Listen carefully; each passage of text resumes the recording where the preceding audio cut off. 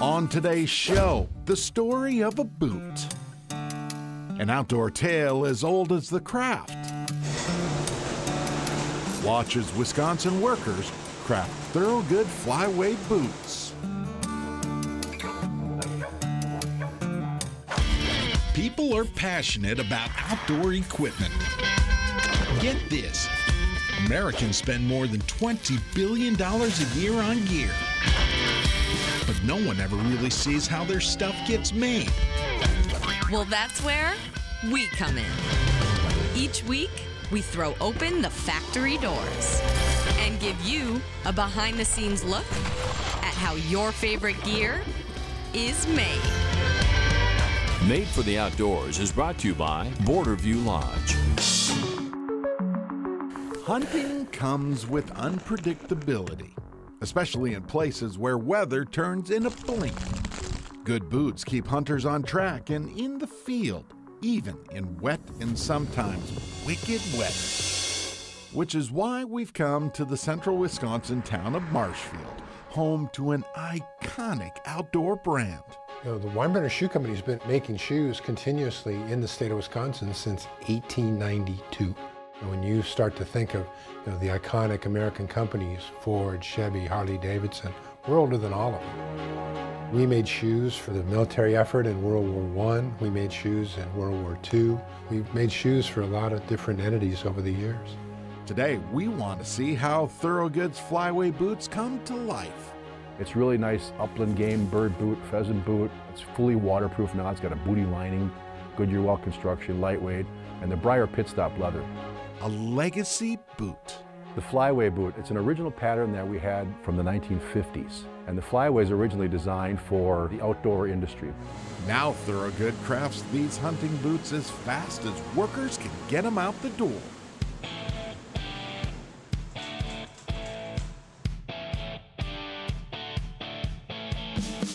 The entire process starts here where leather comes into the facility every single day. It's stacked on these horses, they're called, and it's cow leather with these crazy names like Trail Crazy Horse, Tobacco, and the leather we're using, Briar Pit Stop. This is enough right here for about 80 to 85 pairs of boots. Sam Happy loads carts. She follows a sort of daily recipe sheet for each order.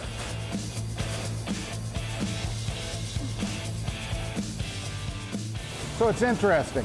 You know, the stock leather, they send all the chunks out actually to the Amish all over the country, and they do all the sewing. So when it comes back and the boot starts production, it looks like this.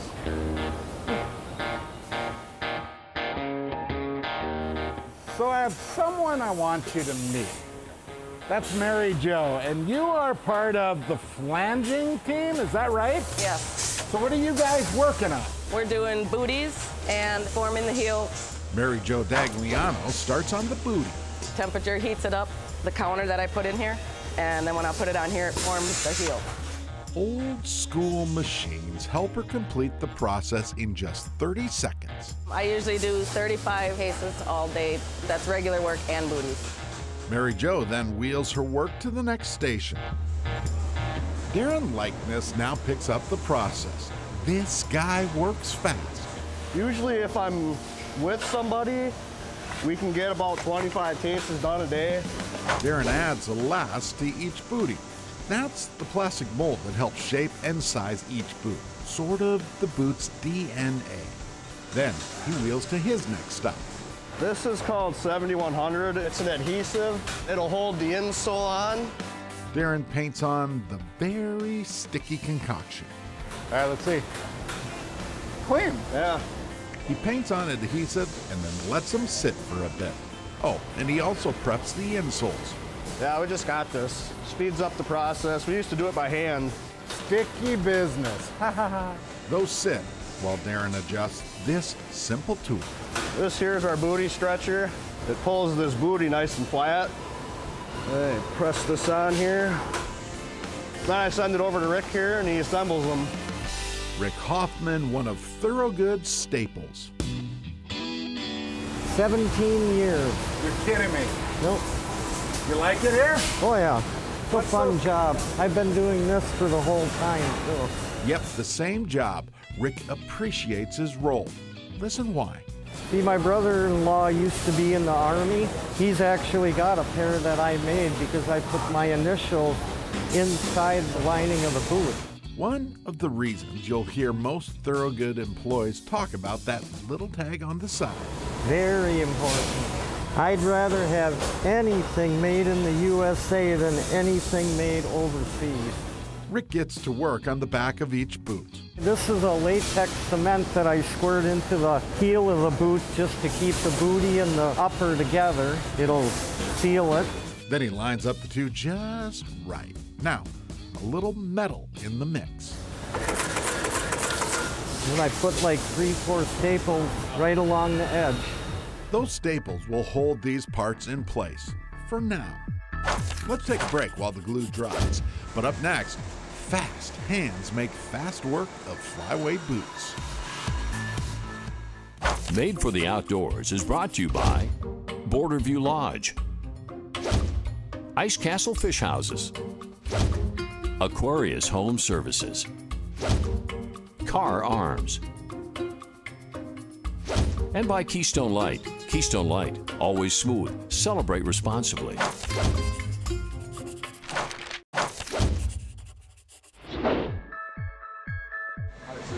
This is way better. Yeah. You see that? Thorogood's R&D team never felt compelled to reinvent the wheel. After all, their legacy boots still stand after a long test of time. Over in production, Rick Hoffman wraps up the heel work and the flyway boots move on. This part of the shoe is where we seam and then we form the mock to all even. Jessica McCarty helps flyways take shape, literally. And then we use the glue on the inside as well. So just put a little of that in there. You want to give her a little stretch? The boot then goes into the forming machine. Watch this. So when it comes out, you have a nicely formed mock and your shoe and everything's nice and even. Yep, the booty starts to transition to a boot. It's kind of neat to see it all come together. They've been around for a long time for a reason. Up next, some of Thorogood's fastest hands. James Jimmy Schmitz goes to work on flyways. Pulling the sides up on the shoes and stapling all the way around the heels and the toes. Watch them work. No wrinkles in the leather. They look just right. Now, Becky Bant takes over. This is what I'm trimming off, all this excess above the channeling. She uses a very sharp tool to do the trimming. Make sure you keep your fingers below where you're trimming. By now, she's figured it out. 41 years. Yep, 41 years at Thorogood and still going. nice work, Becky. Once she's done trimming, you can see this is starting to look like a flyaway boot. Sort of. Now the boots move to inseams, the art of attaching a welt. Well, actually, the welt, it's probably one of the stronger strengths of the shoe. See, what I'm doing is I'm sewing on here and I'm going crossways on this shoe. So you see how strong this is right here? Yep. 33 years into this job, Dwayne Scarehut knows the nuances of both boots and his work.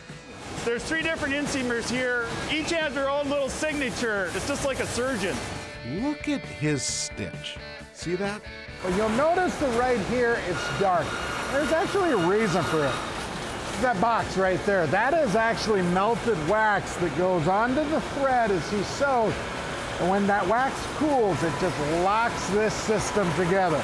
Kind of a minor detail, but it's important too. Those details add up to the legacy of these boots and this crew.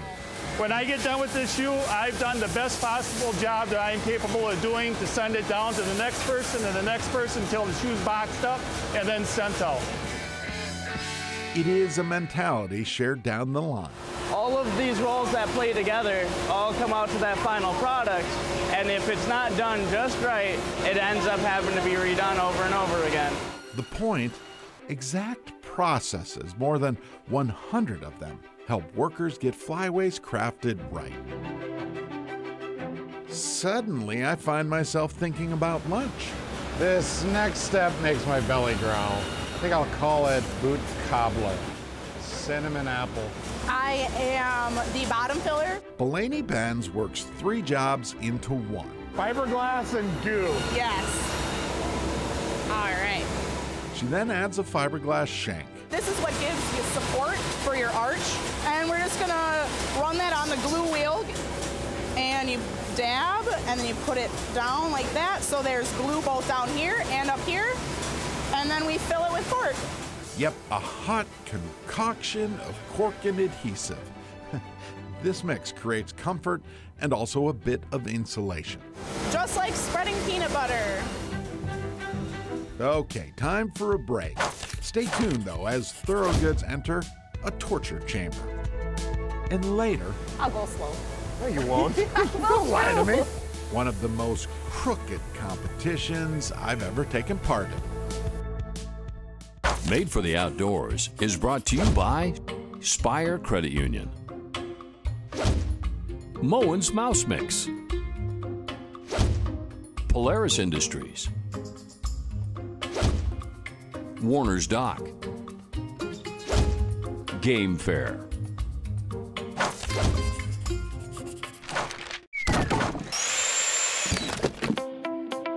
Marshfield's Thorogood Boot Plant remains a place with a bit of a reputation.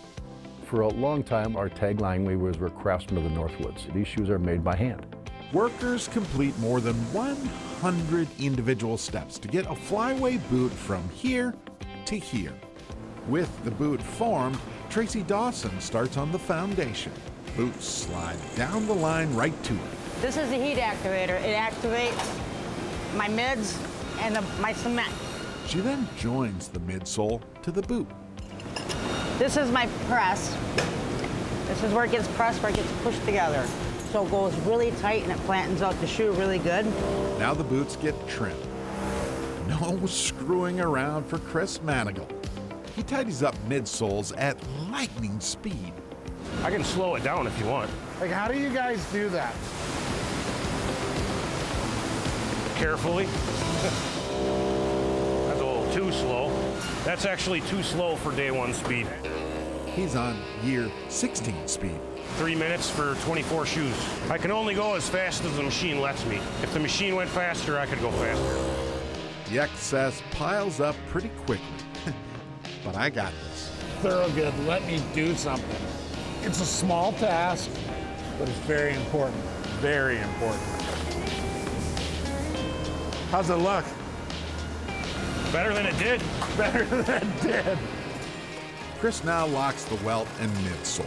This is gonna run a stitch through the welt, through the midsole, basically to hold this together. It's called the Goodyear Stitcher because it takes a good year to learn. Now the boots roll next door where Dylan Summerlin works under a most extreme light. He uses a black light to ensure every part of this midsole gets covered. And that step's just to make sure basically the glue so that they can attach the sole. Speaking of sole, I'm a sole press operator. the guy with all of it. or should I say, all the soles. This here is the heat activator that takes the boot and the sole and it raises it to temperature, which makes the adhesive sticky. And then you place it together and would put it on the press. Shannon Crone attaches soles to the boots. And then I hit the switch and it's on a timer. And the press itself is on a timer too. Every so many cases they actually do pull tests in the lab and testing to make sure that they ain't gonna come apart. True story. This is fun to watch. so what is this thing? So this is the Scott Tensile pull test machine. That's Ben Schubring. He tests boots. And it pulls the boot apart, testing the bond of the cement. His title, Quality Technician, short for the guy who tries to tear, rip, and pound apart perfectly good boots. I do testing pretty much all day. To make sure Thorogoods last. Exactly why Shannon is so exacting back at his soul station. What happens is it seals this off. It goes on the welt. You just kind of roll it. And that pretty much pushes this down against the midsole, against the outer sole to seal it off. I wish you'd give me a job. Whether it's just laying those on or something. Yeah. No, I'm serious. That side down, right? Yeah, that, yep, just like that. And then that just sets in there like that. Put on top.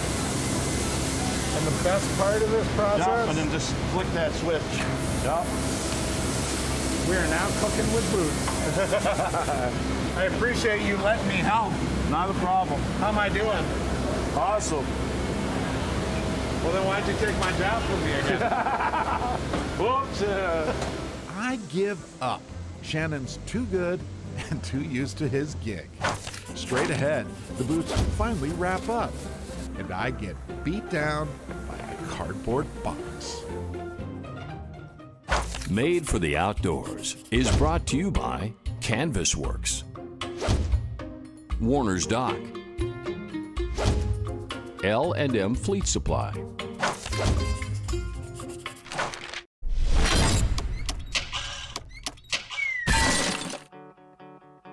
On the hottest of summer days, we watch workers crank away on Thorogood's legacy boots, the Flyway, designed for life outdoors. Essentially what I'm doing is I'm just trimming up the excess sole. The boot gets another trim and the lasts come out. So, there you go. Looks like we've got a completed boot, right? Not even close, but hang tight. Up next, we're finishing up our flyway. Looks pretty good. I'm taking the excess trimmings off to make it smooth. Caleb Connor shapes and cleans up the new soles. How do you know that's right? Do, been doing it for a while. The boots seem complete, but each goes through several sets of discerning eyes. Basically, if there's stuff that some of them guys missed, I take care of it. I'm like one of the final people to look at the boot, inspect the boot before it gets put in a box. Seth Klon touches up any imperfections along with Nancy Smith. She's getting the glue off or wax off. That's about as best as I can get that one. Looks good to me. Lynn Oliver now looks at the boot's finer details. There was a little cut there, so you just take a little crayon, cover it right up. It looks good. Not quite yet. So if the boot gets to this point, it's either perfect or it's in trouble because of fur. Sue Manigal. One last set of eyes. I am the final inspector, and I just, I checked everything. Once done, Hi! Miss me already? Lynn Oliver gets him again. Here's where we spray them. These ones get the leather protector. You want to make sure you do an even coat. From there, Stephanie Rhodes laces and tags each set. You notice how she's tying? They do that by design. They don't want to pre-tie the boots because so many people have these individual ways that are their favorites, so they let you decide. It's kind of interesting. Only now can a flyway boot go into the box, and that is the work of someone very special. And you're the boxer, right? the boxer. Uh, not quite like that, but more like this. Nancy Copeland has 32 years at Thorogood and still counting. Yeah, I'm number 19. So when they open the box, they know who, uh, you know, packed it. Watch for number 19. You'll know Nancy packaged with care. One little boxing joke, and I get escorted over here, Can we borrow your table? right to Janet Morzewski's desk. All right, what are the rules of this? Don't get paper cuts and delete all over the box. See, Janet challenged me. There's like a crowd. this is the first annual box race. I am about quality, not quantity. Did I mention Janet boxed boots for 12 years before becoming supervisor? I'll go slow. No, you won't. Don't lie to me. What? Can box. Come on! Like, why is that so difficult? Because when you Don't get touch. I still can't do it. Oh, sweet. There's another one. There you go. Thanks. You're welcome. Good job. Absolutely amazing. Janet's skill, just one more piece of the Thorogood puzzle. Like every single person in this plant, focused on building perfect flyweight boots. They're your friends or your family, people in the community that, that show up every day and take a lot of pride in what they do. Especially with that little flag on the side. It means it was made right here by our hands, our hard work, our determination to make good quality footwear. This boot, these flyways, proof of American perfection, made for the outdoors, right here in Marshfield. So you're not going to actually video this, are you? And uh, Well, that, that's what the camera's but you're not airing it, are you? Of course we Okay.